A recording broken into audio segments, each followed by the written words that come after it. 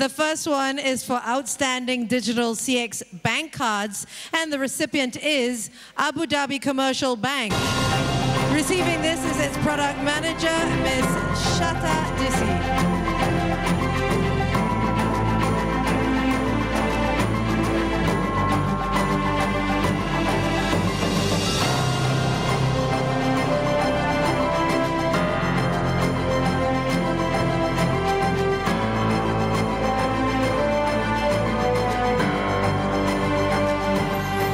Thank you, Digital Banker, and um, thank you to all my colleagues who could not make it today, honestly, but they're the reason why I'm here today to receive this on their behalf.